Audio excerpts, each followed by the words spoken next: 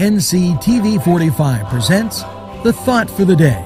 Monday through Friday, we give you a message of spirituality and inspiration. Your host, Hello, our thought for today is Remember Nehemiah. Why? Well, throughout the world, Christians have had their weapons of self defense taken from them and then are slaughtered mercilessly. In the Bible, at Nehemiah chapter 4, verse 17, we read of a dangerous time for God's people in which they had to work to build a wall with one hand while holding a missile of defense in the other. Now, love that is based on Bible principles allows Christians to defend the lives of their families and neighbors.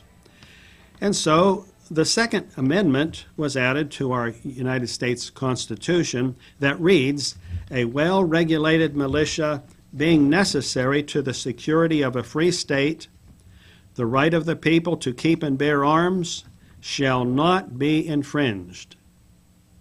In America, people are armed in accordance with the Constitution for self preservation from enemies, both foreign and domestic. The course of wisdom is to keep yourself armed and to defend yourself and your families. Remember Nehemiah. Don't give in to their deceptive schemes and carry your weapon while building the wall of God's kingdom. That's our thought for today.